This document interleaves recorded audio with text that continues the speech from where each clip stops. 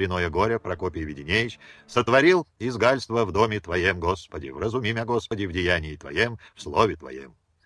Шумно передохнул, одернул рубаху под льняным поясом, повернулся к сыну. «Сказывай, шалопутный, где бывал? Кто надоумил тебя, несмышленыша, свершить пакостное святотатство в моленной горнице? Сам того умыслить не мог, сказывай». Пружиня голос сын ответил с запинкой. Где был известно, господин урядник сообщил. В депо работал, год учеником, год подручным, а потом кузнецом. Арестовали за участие в сходке мастеровых. В школе учился в воскресной, в тюрьму потом посадили. Про арест, тюрьму потом будет разговор. Про святотатство реки Грю. Сын шумно вздохнул, но молчание. Говори, Грю, кто надоумил чудотворную икону порубить? Никто сам. Врешь, шалопутный. С каторжанином Зыряном про что разговор вел, сказывай. В десять-то годов отрок все помнит, сказывай. В ответ молчание. «Пороть, пороть надо», — подсказал урядник. «Вы же, Прокопий Веденеевич, праведной веры держитесь. За порубку икон особливо вложить память, чтобы вовек не забыл. Позовем в сборню, и как по воле родителя, через родительское дозволение, положить на скамейку и всыпать, вложим памяти, как и должно, чтоб держал себя в дозволенных линиях. И я помогу, потому за святотатство».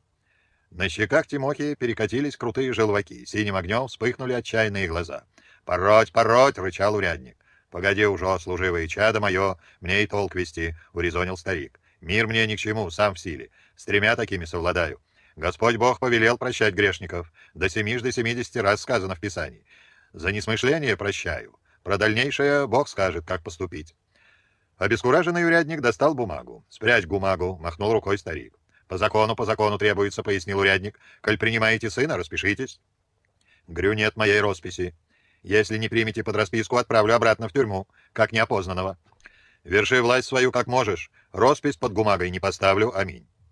«Да чего ж вы тугие?» — не стерпел урядник. «Оно и понятно стало быть, что от вашего корня отлетают головорезы». «В нашей родове нет головорезов, Игнат Елизарыч», — отсек старик, как полено дров развалил на две половинки. «Ищи головорезов в Юсковском корне, у рябиновцев, грю, а мы от праведника Филарета род ведем. К царю в уряднике не нанимаемся, аминь». Подхватив рукою ножны сабли, урядник вылетел из избы, синей тучью с досады хлопнув дверью. Отец и сын переглянулись, будто серебряный рубль переложили из руки в руку. Не таким я тебя ждал, Тимоха. Надежду на тебя имел. В помышлениях тайных видел тебя Филаретом-праведником. Помолчал, глядя себе под ноги. Из тюрьмы пригнали. Из тюрьмы. Царю не поклонился? Не поклонился. Добро. А сила есть, чтоб пихнуть царскую власть. Прадед Ларивон мой покойничек сказывал про Филарета, каких разгромили царевы слуги. В смысле что? Поднимется весь народ, тогда не устоит самодержавие. Дай бог. Хо-хо-хо-хо-хо. В бога не веруешь безбожник. Церковь существует как мышеловка для темного народа. Сами-то они, царь с генералами, разве верят в Бога? Замолкни про Бога. В Никониановской церкви Бога нету, Анчихрист службу правит. Церковь не в бревнах, а в ребрах. Бог есть у нас в нашей вере правде. К тому прислон надо держать. Без Бога царя не спихнете. Ну да про то разговор вести не будем. Топереча слушай, что скажу. Коль объявился безбожником, живи чужаком в доме на моей хлеб-соли. Ежели табак куришь, в избе не сметь. Вино пьешь, хоть из лоха не хлебай, за моим домом. Валяйся со свиньями, а через порог в сатанинском виде не перекатывайся. Снеть принимать будешь из своей посуды. К столу не прикасайся, на красную лавку не садись. Оборони бог, ежели увижу, в моленной горенке смотряй. Ну а работать, скажу тебе, не ленись. Хлебушка солью тело добывается, уразумел? Уразумел, добро. Семью анчихристовыми разговорами не совращай. Про политику так же. Замкни рот и чесало привяжи к зубам. А топереча, как у нас в доме народилась чада, увезу тебя от греха на покос. Неделю будем жить там, покуда в доме сырая роженица. Эй, Степанида!» И в ту же минуту она показалась на пороге. Ишь, какая торопкая. Под дверью стояла. «Собирай на покос, пригласи бабку Мандрузиху, помогать будет Миланье и за скотом глядеть, а сама завтра явись в суходолье». «Тимоша с дороги отдохнул бы», — молвила Степанида Григорьевна, не смея приблизиться к сыну. Молчи, Калюм, сноготь. Достань с под лавки стол, какой вынесли из Маленной. Вот в том углу поставь, табуретку так же. Чугунок, хлебальную чашку, посуду, какую соберешь, на тот стол. Тимофеев угол будет. К приезду с покоса устрой ему постель в казенке. На ларь с мукой доски положишь. А постелю будет мой тюфячок волосяной, полностью суконной покрываться, подушку дашь для пришлых с ветра. Сделаю, батюшка. В слабо торжественных случаях Степанида Григорьевна звала мужа батюшкой или большаком. «Ну, помоги мне, шалопутный». Тимофей вышел с отцом в сене, отец полез на чердак и сам подал оттуда старенький березовый стол, закапанный почернелым воском от свеч. Водворив стол в угол, старик наказал жене, чтобы она покормила сына, а сам вышел в надворье, подальше от грехопадения.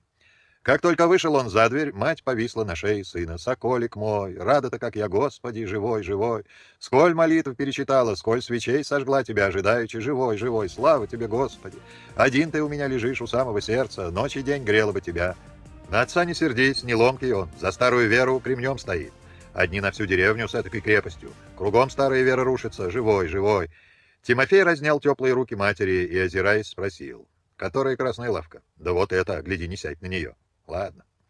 Да я бы тебя, Тима, на грудь себе посадила. Вера-то вера наша, Господи, век терплю, век землю топчу, а все не разумею, где истинная вера, правда. Помнишь дядю Елистраха? Поди забыл, тот вовсе отторгся от мира, в тайге живет и на деревню глаз не кажет. Живет в избушке на пасеке Юсковых, спит в колоде, в которой потом захоронят его. Единоверцы ходят к нему с приношениями, кто сухариков, кто мучиться поднесет, а более ничего не принимает. Была я у него с приношением. Заставил ночь родить и читать молитвы, а потом принял ржаные сухарики, а пшеничные повелел зверям кинуть. Глядеть страшно, весь иссох, и дикой, дикой. Тьма тьмущая, вспомнил Тимофей слова бабки Ефимии. «Не говори так, Тимоша, оборони бог, сам услышит. Истинная вера, правда, у нас, не слушай ведьму, в искус вводит. Какую ведьму? Да бабку Ефимию, которая Макеем тебя назвала. Это та самая бабка Ефимия? Ишь ты помнишь, она, она еретичка. Внуки сколь раз прогоняли ее из Минусинска, а ей все не имется, ходит из дома в дом, да совращает праведные души. А как тут зырян живет? Свят, свят, про каторжника вспомнил, замахала ладошками мать. Солнце поднялось в полдуги, когда Прокопий Веденеевич выехал с сыновьями на покос. Филя правил лохматым буланкой, Каурка бежал рядом возле оглобли. Тимофей с отцом сидели спина в спину. Один обозревал левую сторону дороги, другой — хребет, лебяжий гривы.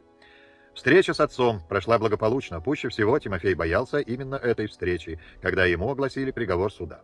Он просил суд сослать его в любое отдаленное место Енисейской губернии, хоть в Туруханск, хоть в льды океана, только не в Белую Елань.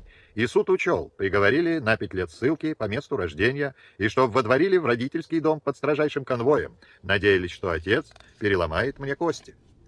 Иные думы кучились у отца. Вот оно как вышло. В пятом колене закипела кровь Филаретова. Супротив царя пошел. У ведьмы глаз вострый, кабы не безбожество, радость-то экая. Ну да может еще оботрется парень, ласковостью надо брать, умом воздержанием. Ежели начать гнуть, как медведь гнул дерево, аль переломится, аль сбежит, а сын ведь не чита Фили. До покоса тащились проселочной дорогой, петляющей между опушками красного и белого леса. Погожесть солнца и звонкая певучая тишина необозримых просторов. Воздух, как медовуха, пьянит, клонит ко сну. Филя подвернул к стану. Треугольный шатер, обложенный сверху берестой, из которой осенью будут деготь гнать. Пепелище с кучей хвороста, треногий таган для варки обедов. В трех шагах журчит молтат, заросший багульником и черемушником. Оказалось, что Тимоха не умеет держать литовку. Гляди, как черенок брать в руки, взялся учить отец. Вот эдак бери ее, милушечку косоротую, и иди по травушке-муравушке, только свистеть будет. Сила у тебя, слава богу, есть, в мою кость выпер. Дюжи, привычные к пудовому молоту руки Тимофея, крепко взялись за черенок литовки. К вечеру с непривычки набил кровяные мозоли. Отец повелел перетирать в ладонях сухой пепел, чтобы побыстрее наросла рабочая кожа. Закончили козьбу поздно, поужинали врозь. Филя с отцом сотворили вечернюю молитву, а Тимофей в укромном уголке за станом умял свою долю обеда и тут же свалился спать. Отец укрыл его половиком и долго сидел подле сына, глядя на его курчавую русую голову. На другой день к обеду явилась Степанида Григорьевна, притащила на горбу два туиса свежего молока, кусок тайменя в полпуда и сейчас же наварила ухи, стараясь угостить лучшим куском меньшого сына. Мордатый Филин обычился. «Ежели припаяется к дому Тимка, ополовинят меня лешие». Надо бы отворотить тятеньку от Тимки. С того и не взлюбил меньшого брата, косоротился. Как только утренняя зорька румянила синюю полость погожего неба, сразу, без разминки, вскакивал Прокопий Веденеевич и брался отбивать литовки. Степанина Григорьевна что-нибудь варила в прокоптелых котлах, а потом, плотно позавтракав, выходили в пахучее разнотравье и по увалам, логам, мягко, со свистом пели косы вжик-вжик-вжик. Прокос за прокосом. Впереди шел Прокопий Веденеевич, неутомимый, сильный, кослявый. За ним чувал спины Фили. За Филей поджарый, в отца плечистый Тимофей в синей рубахе, а следом мать, пыхтящая и тяжелая, вся мокрая от пота, в непомерно длинной холщовой юбке, путающейся в ногах. Перемежались дни. То прыснет дождик, то опять проглянет горячее солнышко, то морок простоит весь день. В ясные дни собирали сено деревянными граблями и метали в ком. На исходе недели Степанида Григорьевна до того разморилась, что слегла под телегой, и как ее не ругал Прокопий Веденеевич, не поднялась. «Нету силы моей, Прокопий, хоть прибей, истая колода, чтоб тебя разорвало холеру. Ступай домой тогда и пошли двух копневщиков из поселенцев. Да не наговори лишку, когда будешь рядиться. Хватит им того, что жрать будут мой кусок хлеба. И Миланию отправь на покос. Подеть лежалась. По вечерней прохладе Степанида Григорьевна ушла в деревню, а на другой день подошла Миланья с малюсенькой грудной дочкой Маней и с белоголовой, тоненькой, как лучинка, внучкой бабки Мандрузики Анюткой, которую Миланья взяла в няньки. Пришли копневщики, босоногие подростки в холщовых шароваришках. Прокопий Веденеевич сразу же определил парнишек в угол безбожника Тимоки, чтобы не опаскудили стана. Впервые свиделась Миланья с деверем Тимофеем. Да чего же он красивый парень. Смутилась, опустились руки вдоль тела и, потупив голову, отошла от Тимофея. Улучив минутку, свекор предупредил невестушку, с Тимохой в разговор не вступай, слышь, потому безбожник. Ой, как можно так, тятенька, грех-то, грех-то какой. Грех его не наш, ему и ответ держать перед Богом. Филя, в свою очередь, высказал такую догадку. Что неизвестно, может, с нами вовсе не Тимоха, а нечистый дух оборотень. Свят, свят, свят, истово крестилась перепуганная Миланья, боясь глянуть в ту сторону, где спал с копневщиками деверь Тимофей. Неделя выдалась редкостной, ни гнуса, ни комарья, пекло солнце. Курилось синюшное марево, будто от земли к небу тянулись шелковистые голубые волосы. С обеда начали метать два зарода. Филя с Тимохой в низине возле берега Малтата, отец с Миланей на взгорье у старой березы. Мелания подавала сено на зарод, стараясь изо всех сил. Слабели руки и ноги, а свекор поторапливала. «И живо мне, еще, еще, что ты суешь? Навильник будто три дня не ела, живо, грю!» У Мелании свет мутился в глазах, поднимая трезубыми березовыми вилами сено на зарод, покачнулась и упала без памяти. Свекор, утаптывая сено наверху, заорал. «Чего там замешкалась холера? Слышь, что ли?» Никакого ответа. «Мелания!» Мелания не поднималась. Старик винтом слетел с зарода и, подскочив к Милане, пнул ее бреднем в живот. Еще раз и еще. «А, тятенька, вот тебе, вот тебе, стерва не баба разлеглась! Тятенька! Чтоб тебе провалиться сквозь землю, лихоманка!» На крик прибежали Тимофей с Филей и подростки-копневщики. Миланья, ползая в ногах свекра, жалостливо сквозь слезы стонала. «Не бейте, тятенька, не бейте, силов нету-ка! Голова идет кругом, ах ты, погонь! Вставай, грю, еще раз-два!» Пнул невестку, та скорчилась. К отцу подскочил Тимофей, лицо в лицо, как молнии скрестились. «Ты что, очумел отец? Не видишь, что ли? Кого ты поставил с вилами? А ты что смотришь, Филя?» У Прокопия Веденеича озноб по спине, лицо перекосилось, ноздри раздулись, на шее и на висках вспухли вены. «Ты, Варнак, что, а? На вилы хочешь? Я тебе сейчас момент проткну!» И схватил березовые вилы. Не успел развернуться, как Тимофей схватил со спины.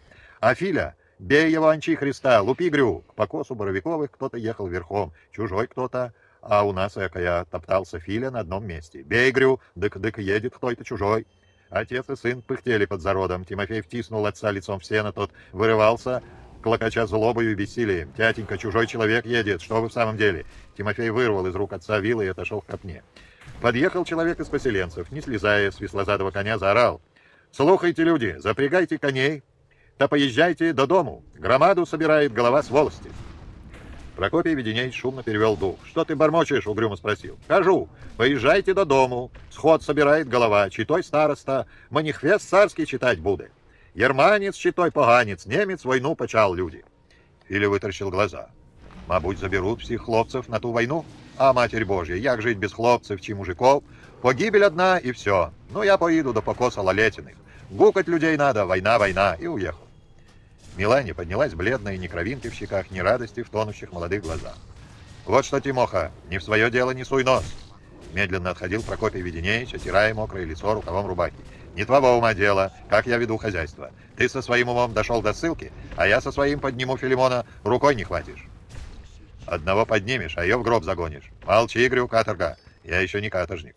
Но, думаю, на каторге для Милани было бы легче. Вы же ее заездили, никакой жалости. Толстоногий медлительный Филя косил глазом то на отца, то на Тимоху, то на всхлипывающую Миланью. Ишь, как вышло, а? Туго соображал он, ковыряя пальцем в носу. Кабы не подъехал поселенец, я бы Тимку съездил в затылок. И, уставившись неприязненно на Миланью, покривил толстые губы, и отчего она такая слабосильная.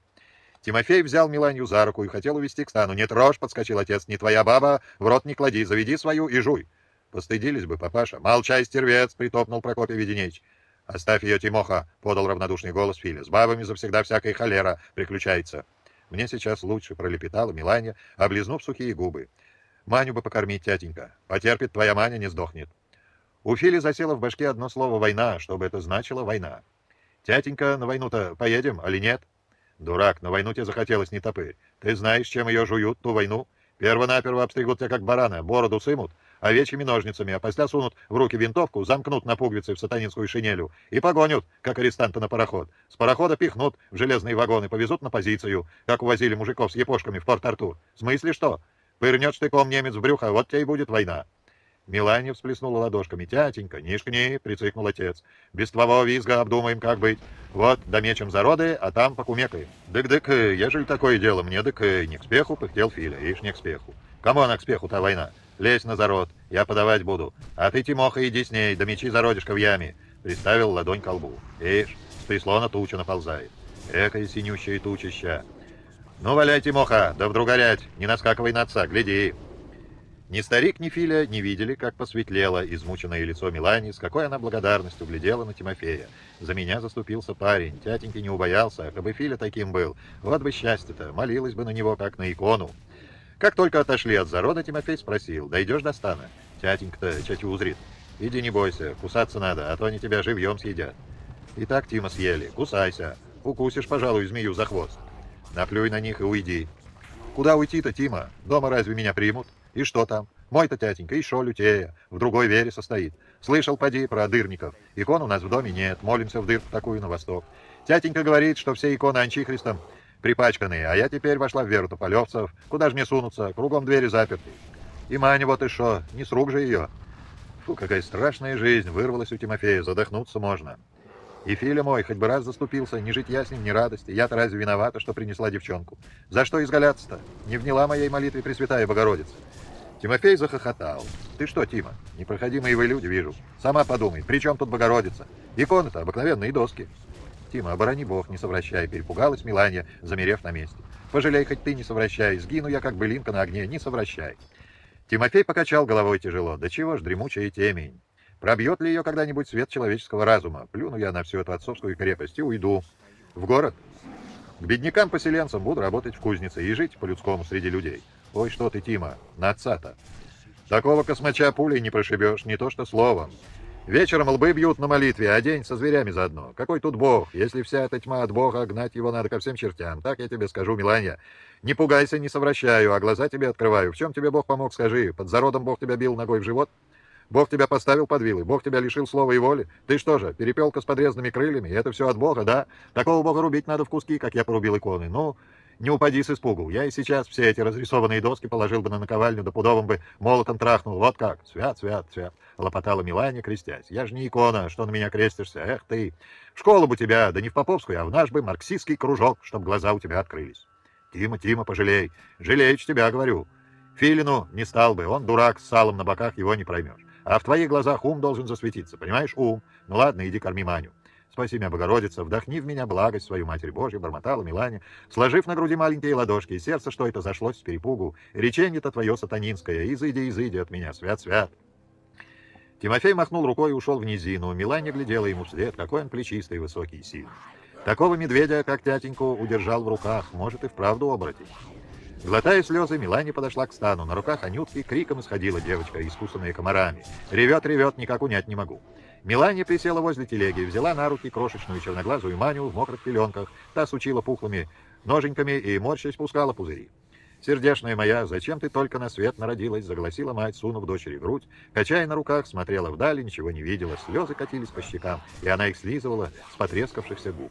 Один только Тима заступился за меня. Если он оборотень, то что, голубит эдак? Оборотни-то, мучаю. Нескладные обрывчатые думы роились у Миланьи. Это тоже называется жизнью, спрашивал себя Тимофей, остервенело вонзая трезубые вилы шуршащее пересохшее луговое сено. Ни света, ни радости у них, кому нужна такая жизнь. И вот еще война. За кого воевать? За такую каторгу? За царя-батюшку? За обжорливых жандармов и чиновников? Думы зрели, ширились, роняя ядреные зерна в память. Прибежала Миланья, посвежевшая бодрая. Она успела искупаться в Малхате.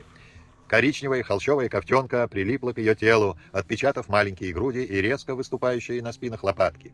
Оглянулась, кругом безлюдье. Зарод Тимофей мечет в яме, откуда никак нельзя было вытянуть копны к большому зароду на взгорье. «Тима, Тима!» Заметывать надо вверх-то. Гляди, девять копешек осталось. Я мастерица сводить вверх. Подсади. Не боишься нечистого духа, Анчихриста? Что ты, Тима? Я ведь ничегошеньки не знаю. Тятенька предостерег. Говорит, оборотень ты. Соврала Миланья, свалив слова Филина отца. Отец? Хм, он скажет, сивый. А ты не оборотень, а? Тимофей воткнул вилы в копну сена, призадумался. Оно «А как смотреть? Если с колокольни тятеньки, оборотень, потому что он во тьме от века пребывает, а я ушел из тьмы, просто сбежал. Добрые люди помогли. Так же вот родил иконами, как ты, по восьмому году читать Библию научился. Ох, набил же я оскомину Библии. Слова в ней как пни, лиственные, не подымешь и не поймешь, что к чему. Ворочал языком на славянском, а в голове, как в рассохшейся старой бочке, пусто. Готовил меня папаша в праведники тополевцам. Люди шли к нам в дом изо всех деревень, посадят меня перед иконами и заставляют бубнить всю ночь напролет. Оно понятно, отцу было выгодно. Сколько тащили разных приношений. И хлебом, и медом, и салом, и тряпьем. Кто чем мог. Заездили бы, если бы не подсказал человек, что делать. Рубанул я тут тополь, а потом иконы пощипал, и был таков, понимаешь?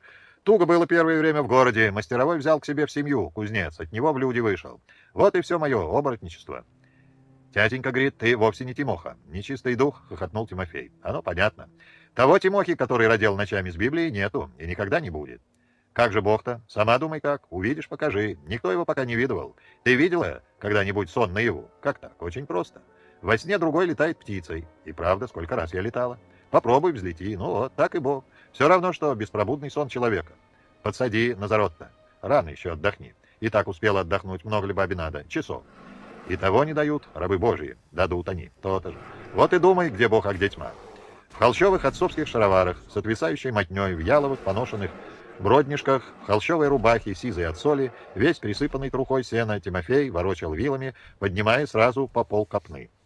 Березовые вилы выгибались, потрескивали. Тимофей ловко перехватывал черенок, уткнув его в землю. А тогда уже весь на пружине поднимал сено в зарод. «Ох, силен ты, Тима, я бы, ей-богу, умерла под таким навильником. Мужчине мужское, женщине женское, как бы все так думали. Настанет пора не думать, а делать так будут. Не будет такого никогда. Почему не будет? Да потому что мужчина завсегда сумеет закабалить бабу. Разве Филя мой другим будет? Не в жизнь. Бревно и есть бревно. Филю ждет хорошая мялка. Харю бы ему на бок свернуть за такое отношение к тебе.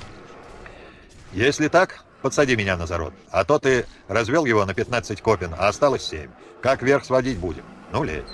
Мелания подошла лицом к зароду и протянула руки вверх. Тимофей легко приподнял ее и, удерживая на ладони, на шаг отошел от зарода. «Что ты, Тима, увидит наши? И черт с ними!» «Уж ли я совсем не тяжелая?» Пуда три будет. Хоть бы разочек вот так подержал меня Филин. Тихим суховеем прошелестели слова Миланьи, опалив щеки Тимофея. Ну-ну, влезь. Много ли женщине надо, чтобы согреть сердце, если до того она не чувствовала ни ласки, ни внимания, ни любви? Серчишка Миланьи будто омылась теплой водою, стало легко и приятно, радостно. И небо такое высокое и прозрачное, ах, если бы вся жизнь пролетела в такой благости, как один миг с Тимофеем на метке зарода. На ужин собрались у стана, Филя с отцом совещались, ехать или нет на сельский сход. «От нас на той сходке прибытку не будет», — порешил Прокопий Веденеевич. «А мы вот передохнем, а потом и шо попотеем, а зимой пузо на печке погреем, от того прибыток». Тимофей ушел на речку купаться, забрел в глубокое улово по шею и, не умея плавать, держась рукою за колодину, окунулся с головой. Спугнул лиловый ломоть Хариуса, пытаясь схватить домоседа за хвост. Вскарабкался на колодину, посторожил Хариуса и, не дождавшись, вышел на травянистый берег. «Война. Нешуточное дело, погреешь пузо», — думал он, натягивая горочанские суконные брюки и простиранную синюю косоворотку с перламутровыми пуговками по столбику. Перетянул живот лакированным ремнем с пряжкой. Кося глазом на медного двуглавого орла поморщился. Во имя орла, что ли, цедить кровь из немцев? Прокопий Веденеевич отбивал Миланину литовку, как бритва будет. В дождь самое время травушку положить за коровьим мыском. Глянул на Тимоху через плечо, насупился. Аль на войну рвешься, политик? Надо сходить послушать, что там за манифест царя. Эка. Печатка царя не про тебя должно. Еще неизвестно, какая будет война. Кайзер насел на Францию, только перья летят, как из курицы. На пароходе газету читали. Люто. Силу германец собрал большую. Если он повернет ее на Россию, всех припечет. Филаретовой крепости держись, не припекет. Из корня Боровиковых за царя никто не хаживал с ружьем. Тайга, вот она, милушечка, сколь там разных скрытников проживает. Иди к ним, и вся недолга. Дядя твой там, еле страх, спасает душу. Молитва не пуля, лоб не прошибет. Существительно, охотно поддакнул Филя. Когда Тимофей скрылся за увалом, Филя вспомнил. Кабы не тот поселенец, тятенька, я б Тимоху двинул в затылок. Прокопий Веденеевич сверкнул льдистым глазом. На что доброе, а в затылок-то ты гораст, Филин.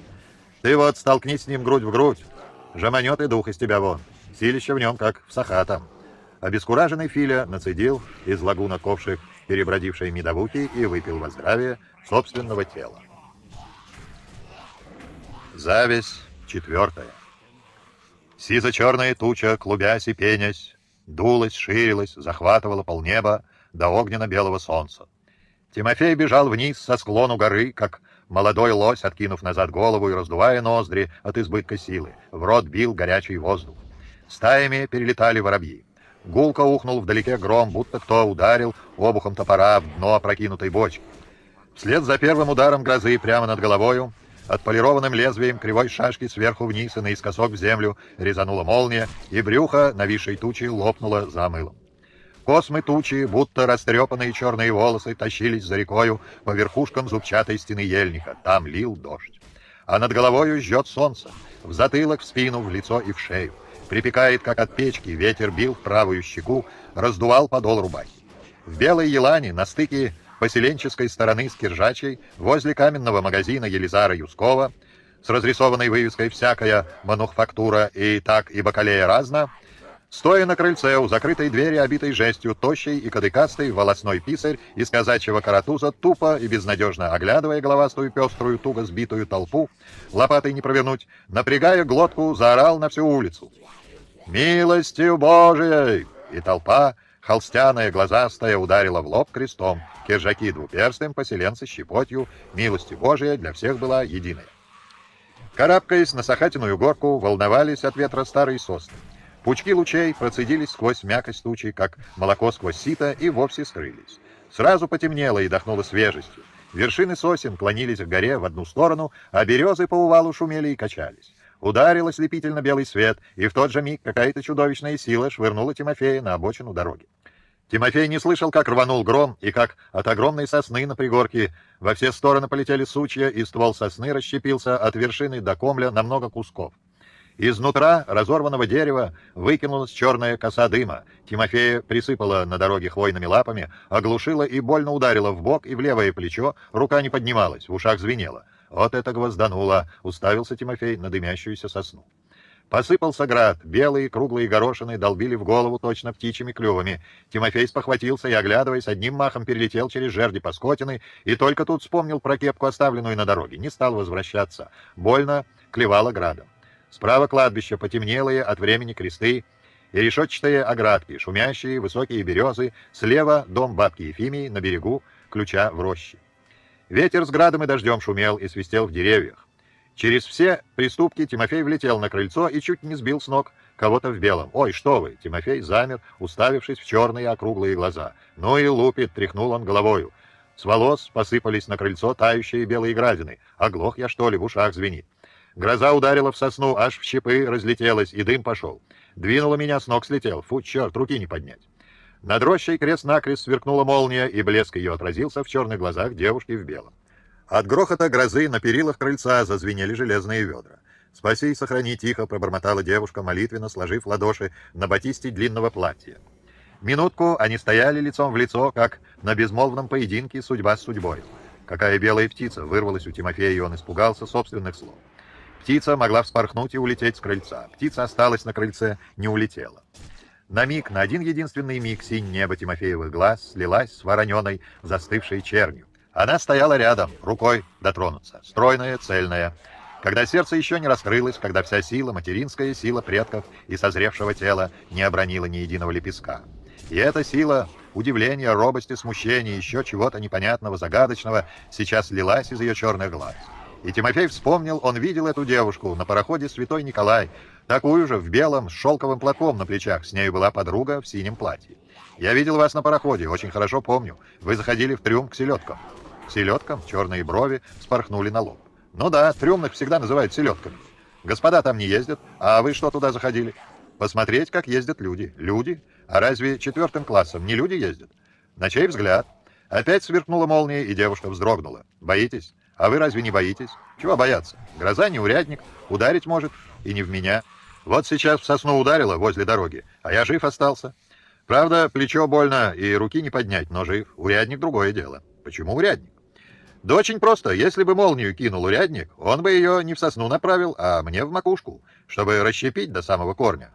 Он бы сейчас сказал «пороть, пороть, кого пороть?» Меня, конечно, политику, и пороть так, чтобы ребра переломать через родительское дозволение. Они это умеют, урядники и стражники. Слышали про Юскова? Да. Хорош битюк. Вот бы кого на войну спровадить. Там бы ему морду отутюжили. Солдат с ружьем сам себе генерал. Одну пулю в немца, а другую в урядника. О, это «о» прозвучало как стон отчаяния. Зачем вы так, а? Я бы никому не пожелала смерти, пусть люди живут. Разные бывают люди, барышня. Одни солому жуют, другие дармовой кофе попивают, да шоколадом закусывают. На людском добре жируются, да еще при случае в морду сунут, как милостиню отвалят. Так что ж, по-вашему, всех на одну доску? Еще раз полыхнула молния, ударила гроза. С перил упало железное ведро, Тимофей поднял и поставил на прежнее место. У крыльца ветер трепал березу, вершина березы качалась и шумела. Он не мог сравнить девушку с белой березой, девушка была красивее. По крыльцу снизу вверх тянулись тонкие, усыпанные листьями и зелеными пуговками хмелевые плети. Он не смог сравнить ее с хмелем. Она пьянила без хмеля, лучами черных глаз, пыльцою солнечного загара на щеках, шелковым прозрачным платком, покрывающим только на затылке ее смолистые волосы, резко выделяющиеся на батисте нарядного платья. Ему нравились припухлые губы девушки, розоватая бархатистость ее лица, подбородок со вмятинкой посредине. «Ах, как все запутано на белом свете!» — проговорила девушка. «Я еще ничего не понимаю. В гимназии так много разговоров было про всякие несправедливости в жизни. И то плохо, и то нехорошо. А будет ли когда такая жизнь, что все будет хорошо? Если произойдет революция?» «Как в 905-м?» — перебила девушка. «Да ведь ничего не вышло с той революцией.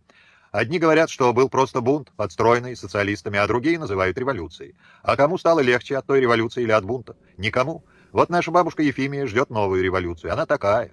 И чему-то усмехнулась, ждет нового Филарета или Пугачева. Смешно просто. Что тут смешного? Разве может повториться вчерашний день? И кто в народе знает про какого-то Филарета Боровикова? Никто не знает, кроме бабушки Ефимии.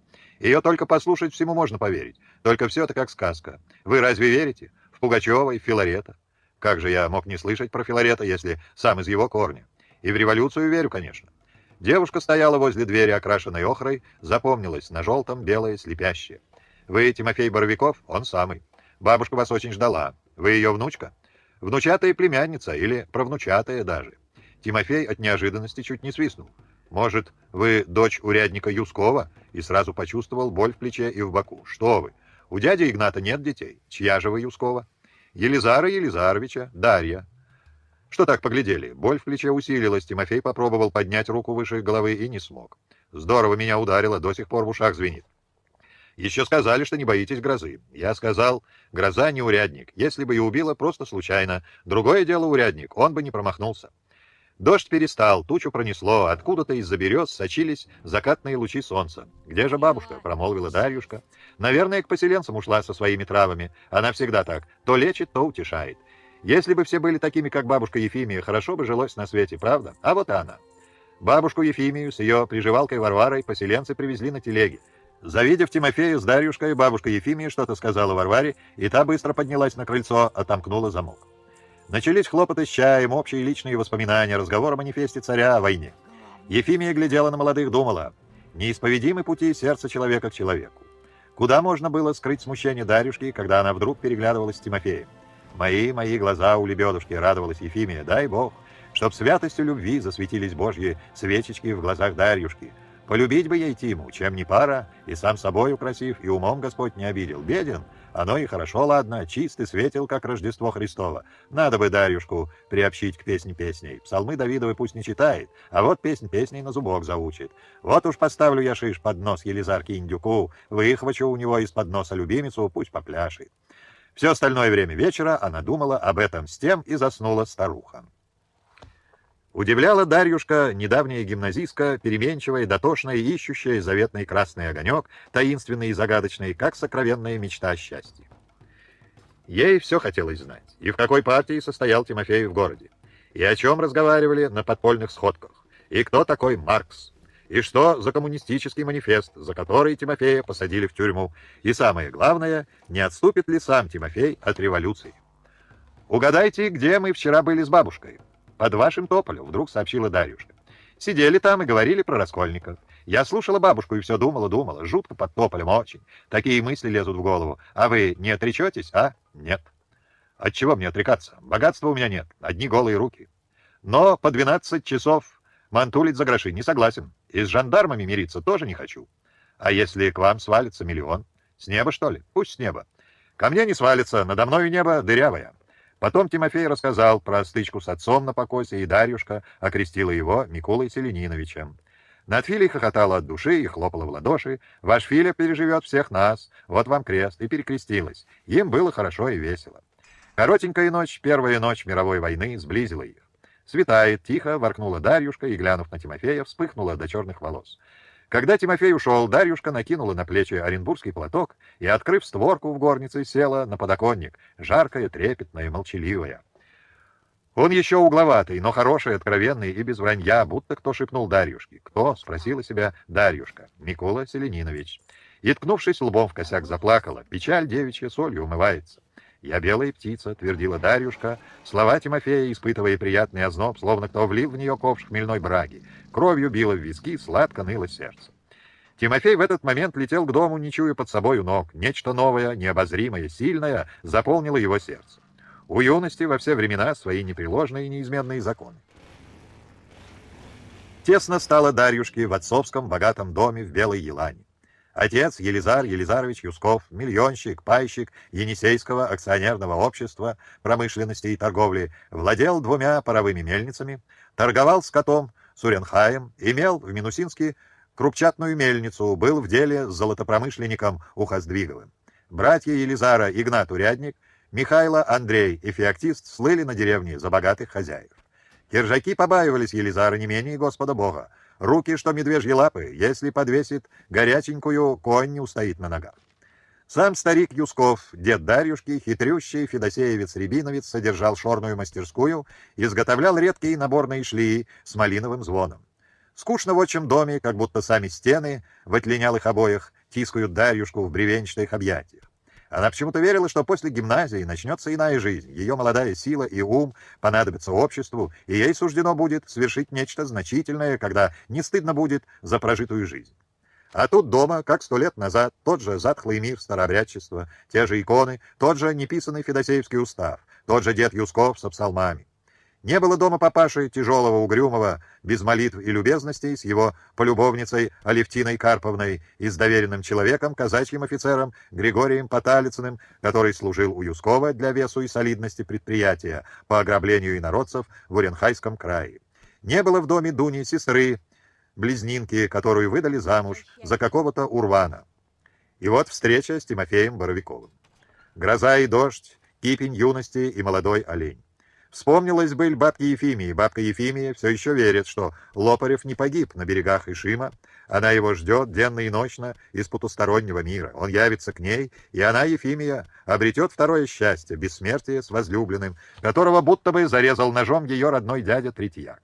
Смешно думать так, а что если блажь бабки Ефимии не блажь, а пророчество о судьбе Дарьюшки?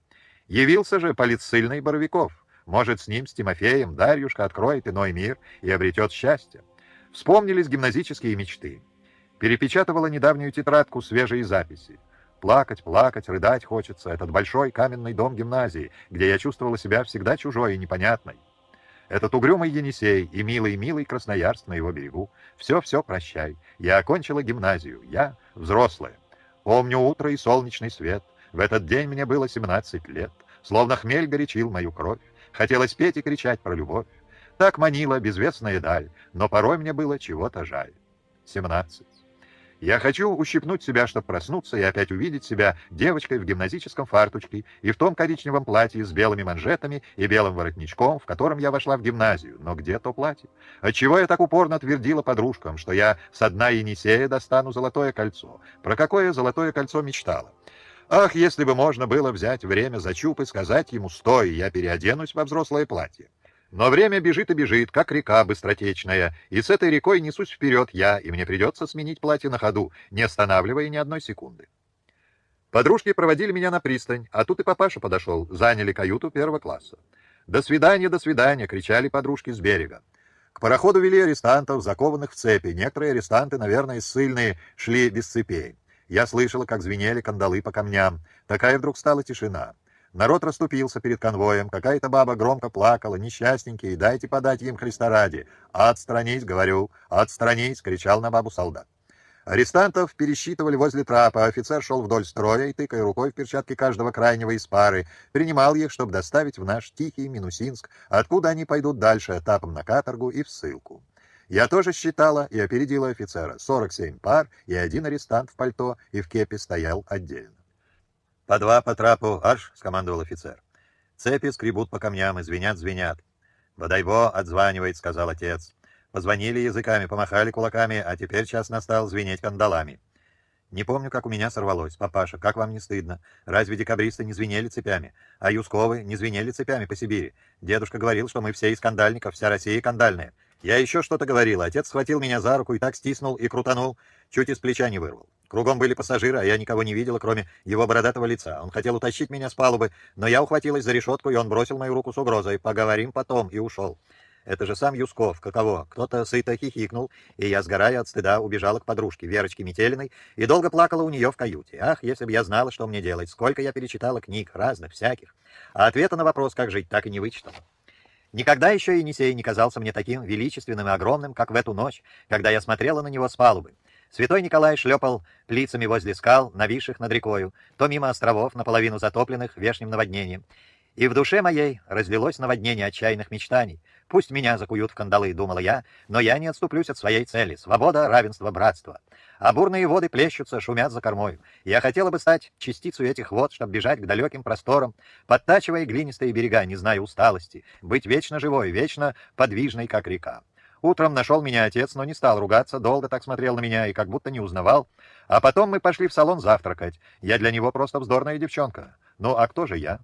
В Минусинске я осталась гостить у Метелиных и у дяди Василия Кирилловича. Отец уехал по своим делам к инородцам в Оренхайский край.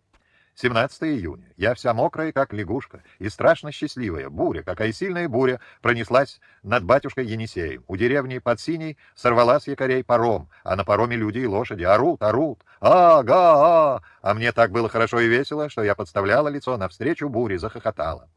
Паром несет вниз, лошади ржут, люди кричат, волны ворочаются, как горы, а я хохочу, хохочу. Ой, что поделалось? Барышня ума решилась, закричала какая-то баба, и все сразу отошли от меня.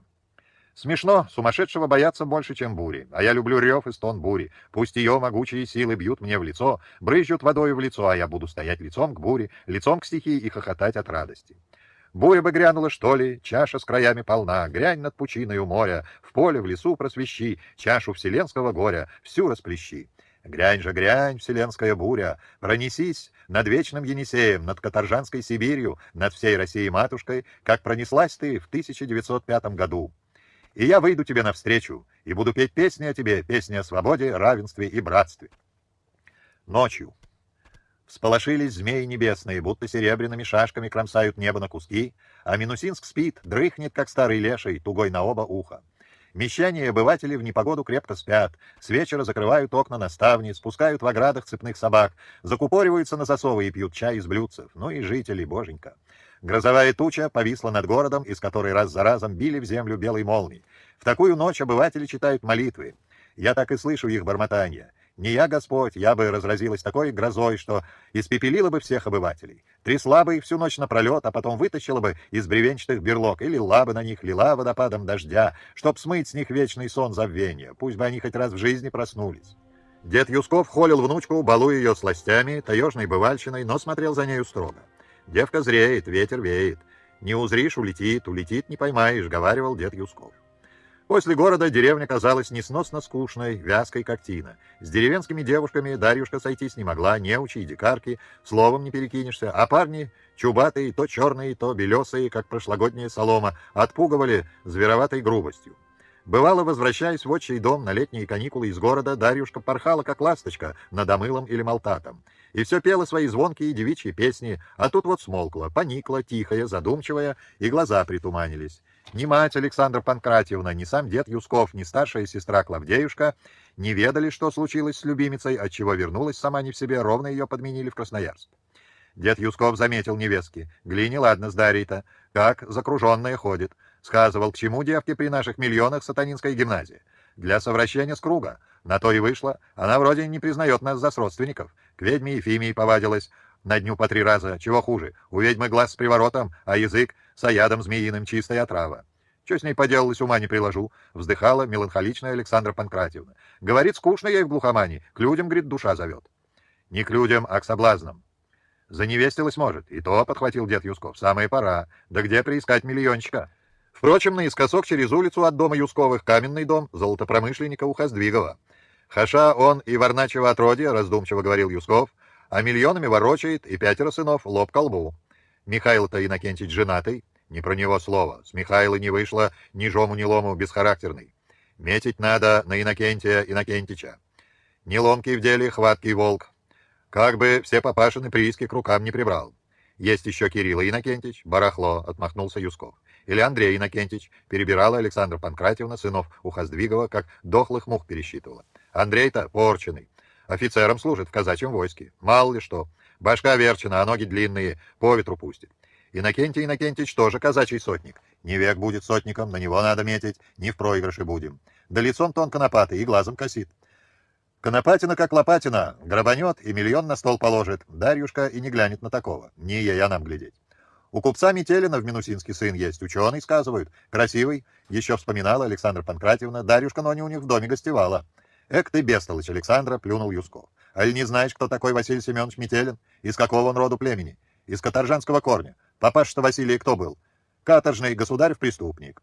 В самом Петербурге, сказывают, во царство Николая I в заговоре путался и восстание учинили супротив самодержца. Истый прохвост, до манифеста сдох, и трех сынов дело не вывел. Василий Семенович в большом деле, конный завод имеет, не унималась Александра Панкратьевна. Под пятки глядеть надо, а не коням под хвост. По Ефимье-то он нам вроде не чужой, на ее дочери Глафире женат. И Дарюшка чтит их, прислон к ним держит. Да ты в уме, Александра, осерчал Юсков. Экой ты сонная и непотребная. К погибели девку толкаешь и сама не ведаешь. Через ведьму Ефимию, да еще через дом Метелиных с Юсковыми, красноярскими Дарья от рук уходит. Зри, хвостом махнет и позорище выйдет на всю губернию. Погоди вот, подъедет сам Елизар из Уренхая, найдем жениха. Дай-то бог, вздохнула Александра Панкратьевна. Весь этот разговор о женихах невзначай подслушала Дарьюшка из своей девичьей горницы светелки. «Хомут на шею ищут», — подумала она, вспомнив слова Тимофея. «Если святость в церковном браке, когда венцом покрывают не любовь, а купеческую сделку, когда птицу вяжут с волком, но что она может, Дарьюшка Юскова, если у нее нет даже вида на жительство? Если она посмеет бежать из отцовского дома, ее сыщет полиция и вернет домой под родительский надзор. Есть одна дорога — тюрьма. По уголовному или политическому делу только бы тюрьма. Отбыв срок, она может получить соответствующий вид на жительство. Но есть еще один путь — выйти замуж за политического. Тогда наверняка отступится жестокий папаша Елизар Елизарыч. Я должна, должна что-то сделать, зрело решение у Дарьюшки. Что знала Дарьюшка до гимназии? Тихую, работящую деревню в Медвежьем углу на Золотом тракте, сонную одаль отчего дома. Сама успела уверовать в дурной глаз, в пустые ведра, в черного кота, в сновиденья и во все те нелепости, чем была переполнена Белая Елань с ее двумя сторонами, киржачьей, староверской и православной поселенческой. А сердце билось горячее, зовущее к беспокойной жизни, а не к тихому купеческому омуту. Если так жить дальше, скука впереди, вспомнила слова Тимофея. И в самом деле скука впереди что ей уготовано отцом и матерью, богатая приданая. Мать сулила ей свои девичьи платья и накидки, отец — паровую мельницу на ербе, а дед Юсков — сбрую с малиновым перезвоном, словно Дарьюшку, и в замужестве будут гонять в упряжке. Так и помрет, ничего не изведав, ни сладкого, ни горького, ни воды, ни пламени. Будет пить чай из блюдца, ложиться в пуховую постель засветло и рожать детей. И опять вспомнила, мужественными и смелыми не рождаются, уверял Тимофей. Один ползет тараканом, такому мужеству ни к чему, другой парит соколом, а разве без смелости и мужества сокол кинется на волка? Никто из Юсковых не знал и не догадывался, что за минувшие три дня Дарьюшка трижды встречалась с Тимофеем Боровиковым в доме бабки Ефимии. А что сказал бы дед Юсков, если бы ему довелось подслушать разговор внучки с Тимофеем? Вернется Дарюшка от бабки Ефимии, а потом долго-долго ходит по девичьей светелке и все теребит красную ленту, вплетенную в черную косу. Станет на молитву перед иконами, молится будто и прилежно, а в глазах паутинка незрячая, видит и не видит лики святых. Молись, молись, ненаглядунья, увещевывает мать, в боге пристанища душевной смуты. А Дарьюшка будто слышит Тимофея, «Я не верю в сказки про Бога, разве Бог сотворил богатых и бедных? Если все это сотворил Бог, тогда надо поднять пудовый молот, чтобы разбить такого Бога за совершенную несправедливость». Жил ведь Иисус Христос, как-то спросила Дарюшка. В разных верованиях разные Иисусы, говорил Тимофей. У старообрядцев Иисус, у православных Иисус, а оба вместе сказка про белого бычка. Придумали люди сказки, чтобы самих себя обмануть. Но разве человек живет для того, чтобы как рыба биться в неводе темноты? Не лоб крестить надо, а людей готовить для новой жизни, сердца зажигать. Кузница не для того, чтобы на нее молились, а чтобы ковать железо для пользы человека. Ночью в окно глядела круглая луна, и Дарьюшка загадала. Если завтра увидит луну в тучах, значит вся ее жизнь будет темная, стылая. Если луна проплывет по голубой скатерке, Дарьюшку ждет любовь, радость и перемена в жизни. Когда на другой день она собралась к бабке Ефимии, Юсков предостерег.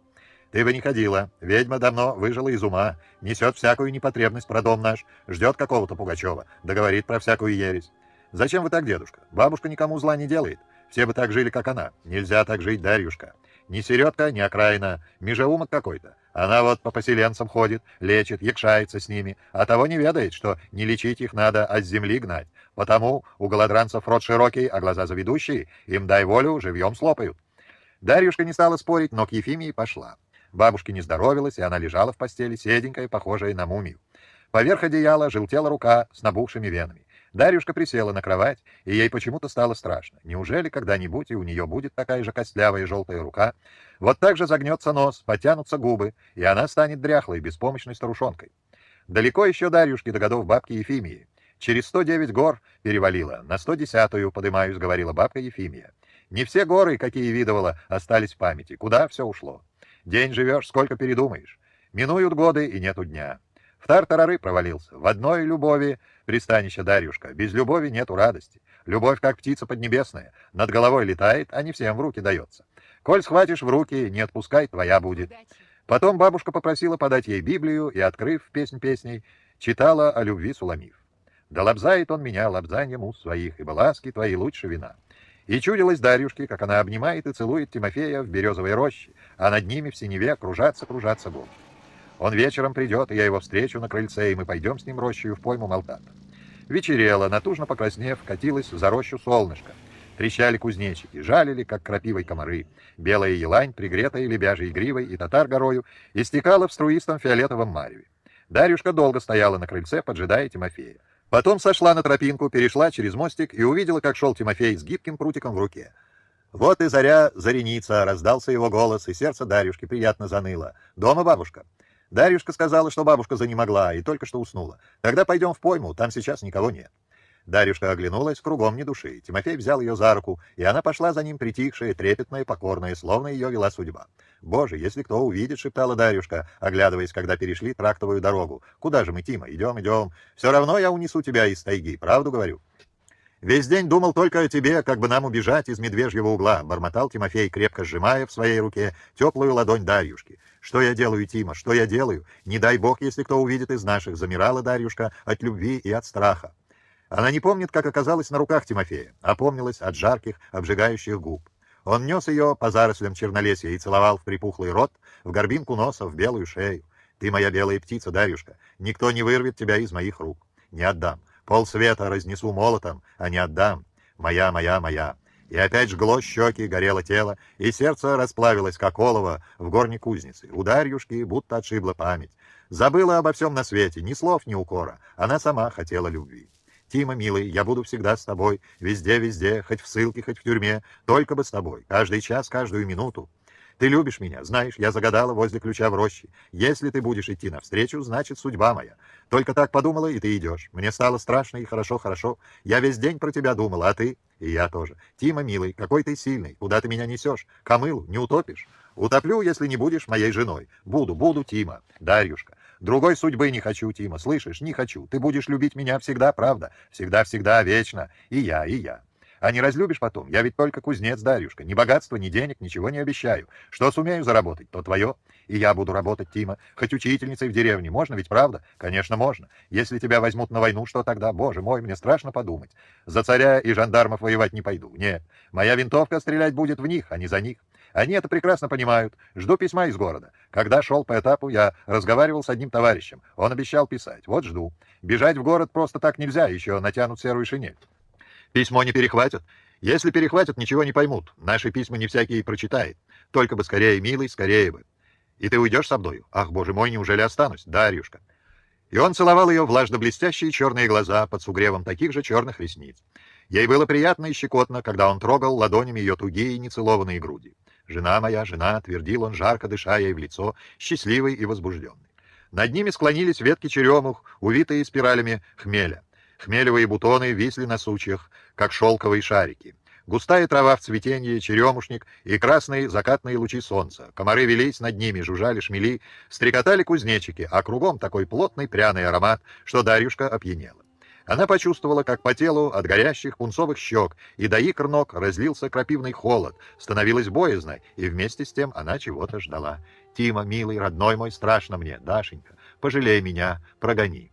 Закатилось солнце и потянуло освежающим ветерком самыла. Дарьюшка лежала на траве, сосредоточенная, упорно и настойчиво разглядывая, как полыхала огненными космами рыжая борода неба, кроваво-красными полосами, вспыхивая возле горизонта. «Я женщина, его жена», — думала Дарьюшка, насыщаясь новым загадочным чувством. «Что будет, Боже мой? Убьет отец, если узнает, а все равно». Дарьюшка шла домой с чувством тихой подавленности, захороненной в сердце виноватости. Над белой еланью сгасли сумеречные краски, и отечно посинело небо. Мать встретила Дарюшку в синях. «Господи!» — полуношница заявилась. «Где была-то?» Парнишку посылала к бабке Ефимии, тебя там не было. Купалась в омыле. На ночь глядя, с ума сошла, встревожилась мать, рослая, полная, сонно, под пухшими глазами. То ей тесно в доме, то гонит ее кто-то на омыл. Места себе не сыщешь.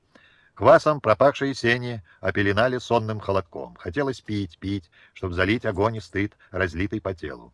Пьешь-то как, господи, стояла за спиной мать. И все-то тебе не по нраву в родительском доме. Не в Дуню ли удалась? Та росла, брони бог, до чего отчаянная, и бил ее отец грешным делом, а ей все не имется шалы. За что бил-то? За жадность ее. Всех парней готова была перевертеть окаянная. Двойняшки вы у меня, а до чего разные, не приведи Господь Бог. Ту пришлось выдать замуж, и вот жалуется теперь, уйду, говорит, от своего Кондратия. Не мужик, говорит, а сухая ступа. В кого уродилась, ума не приложу. Заявилась вечер с прииска. Останусь дома, говорит, погоди же. Приедет отец, он ее проучит лихорадку. Мать прикоснулась к платью дочери. Платье-то чего мокрехонько. Жарища такая, духота, чудеешь. В Горенке встретила Дуню, такая же черноглазая, статная, успевшая нарядиться в Дарьюшкино городское платье и фельдикосовые чулки. Она похаживала из угла в угол. «Сестренка!» Чертушечка кинулась Дуня на шею Дарьюшки. «Знаешь, Чертушечка, убежала я от Кондратия. Взялся еще учить меня, уволень. Мало ему, лобастому дьякону, моего приданого. Почему дьякону? Истый дьякон. Муж Дуни Юсковой, Кондратий Урванов, заведовал горными работами на благодатном прииске золотопромышленника Ухоздвигова. Говорили, будто у Кондратия Урвана золото припрятано больше, чем у самого Ухоздвигова.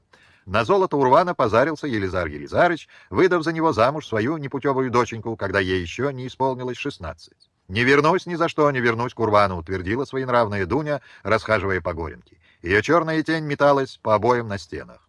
На божнице теплились восковые свечи и дымилась лампадка с деревянным маслом. Тихо, постыло, отчужденно от младших сестер, сидела с рукоделием старшая Клавдея, горбатенькая, кроткая, набожная. Она любила Дарьюшку и боялась Дуни, потому и молчала.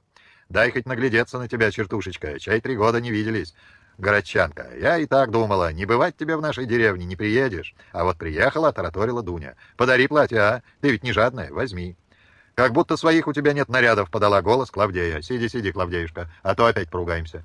Из-за чего поругались? Не понравилось ей, что я не крещусь прилежно. Какое крестишься? Отмахиваешься и все. Гляди, накажет Бог. Хватит ему наказывать меня, махнула рукой Дуня. И так наказал, сунул замуж за Урвана. Ах, Даша, Даша, чертяточка, если б ты знала, что за житье с постылым, господи, за что не взлюбил меня тятя? До первых петухов Дуня не дала спать Даше, ворочалась на постели, то ей жарко, то воняет ладаном, а потом постелила себе на пол и вдруг расплакалась. «Горемычная моя головушка!» — причитала Дуня. «Выдали меня замуж, а на поруганья за постылого и немилого. Годов еще прибавили, а вот я сама заявлюсь к архиерею, да скажу, что мне еще не исполнилось 18, и что я два года как мучаюсь замужем. Расторгнет такой брак архиерей, вот увидите. Назло всем сделаю, грозилась Дуня. А что мне? Чем я виновата, скажете? Одну дочь холят, да учат в городе, а меня ни за что ни про что вытолкали из дому. Даже не спалось, за окном шумела черемуха и старая ель в палисаднике, кучились облака, и не видно было просвета в тучах. Даша встала на колени перед горящей лампадкой. Тусклый лик Богородицы с младенцем глядел из глубины угла. Даша прилежно молилась, земно кланяясь. «Прости меня, мать, Пречистая Богородица, грешница я, великая грешница», — шептала Даша собственную молитву. «Не от слабости и от корысти согрешила я, от тоски кручинушки, от которой свет не мил. Не могу, не могу я жить так, мать Пресвятая Дева непорочная. Спаси и сохрани меня, Матерь Божья, люблю его». Дуня притворилась, будто спит, а сама, глядя сквозь приспущенные веки на Дарюшку, слушая ее молитву перед иконой Богородицы, не сдержалась и прыснула. «Ой, уморила, чертушечка!» Дарюшка испуганно оглянулась. «Ты... что ты, Дуня?» «Уморила ты меня своей дурацкой молитвой!» Покачивается Дуня. «Кому молишься-то? Богородице? Ой, чертушечка! А Богородица это от кого Иисуса родила? Ха-ха-ха! От Святого Духа, который по ночам лазил к ней в постель через окно, когда ее муж Иосиф дрых со своими овцами? Ха-ха-ха! А еще гимназию кончила. Не в Богородицу надо верить, а самой себе, в свою хитрость и в силу. Вот что!» Клавдеюшка тоже не спала. «Ах ты, бессовестная!» — вскочила на постели. «Про Богородицу такие слова говоришь. Я вот сейчас скажу маменьке». Дуня винтом слетела с постели, да к Клавдеюшке, схватила сестру за горло, да об стену головой приговаривая «Гадина, гадина, гадина! Наушница! Папенькина! Это ты, горбунья! Да полюбовница папаши измывались надо мной день и ночь!» Чтоб тебе сдохнуть, гадина!» Дарюшка подбежала разнять сестер. «С ума сошли, с ума сошли! Маменьку подымите! Как тебе не стыдно, Дуня? Стыдно?» — вяжет свое Дуня. «Пусть вот эта гадина сгорит от стыда. Меня предала папеньке. Я бы за кузнеца вышла замуж. Она гадина продала. Удавлю, все равно удавлю. Уходи сейчас же, брысь горбатая змеища. Если пикнешь маменьки, зарежу. Вот тебе крест зарежу». Клавдеюшка, плача и сморкаясь, растрепанная, наступая на свою длинную ночную рубаху, спотыкаясь, убралась из горенки. Стыдно, стыдно, Дуня, на Клавдеюшку руку поднимать, рука отсохнет. Она господняя овечка. Ха-ха-ха, покачивается Дуня. Не господняя, а чертова кочерга. Ну за что ты ее так, за что? Через эту горбунью меня пропили за Урвана, через нее и через полюбовницу папаши. О, ненавижу их всех. Огнем бы сжечь в этом окаянном доме. Боже мой, попятилась Дарюшка. Тебе-то что, ты не изведала папашиных пудовых кулаков? Не дай бог, если изведаешь. Тогда вспомянешь меня. Хоть бы мне умереть от такой каянной жизни. Бежать бы, а куда? Нет у меня ни паспорта, ни денег, ни дела в руках. Если бы хоть выучиться на фельдшерицу или на учительницу. Так нет же, век меня стращали и век меня унижали, по милости папеньки. За что? За что такое наказание? Помнишь, как на меня налетел рыжий конь? Совсем была маленькая. А как сейчас вижу коня рыжего. Страшный-страшный конь. Как что меня пугали конем рыжим? Дарюшка помнит про коня рыжего, маменька сказывала. «Да ты ведь не знаешь, как я полюбила кузнеца Мамонта. Ох, как я хотела бежать с ним из этой проклятой глухомани!» «Какого кузнеца?» — дрогнула Дарюшка. «В кузнице у Трифона робит, такой высоченный, как колокольня. Знаешь, как все было? Скажу тебе, если бы не горбунья». Это ведь она, тихая Клавдеюшка, наушничала папашей, когда Дуня, провалив экзамены, в Каратузскую гимназию вернулась в отчий дом, и тут встретила у деда в мастерской ссыльного поселенца Мамонта Головню. Бравый чубатый кузнец пленил сердце Дуни, и она, будучи неробкой, липла к нему своими черными жадными глазами, просила, чтобы он научил ее слесарить, паять и приваривать, ковать раскаленное железо, глазела, как Мамонт работал в кузнице Трифона. Ах, ах, бил кувалдой молотобоец. И Дуня потом шепталась с Клавдеюшкой, доверяя ей сокровенные тайны. А Клавдеюшка взяла да и выдала папаше. А тот скорый на крутые решения выгнал головню из мастерской. Тогда Дуня тайком наведывалась в кузницу, где потом работал ее возлюбленный. Бывало, мамонт возьмет молот пудовик,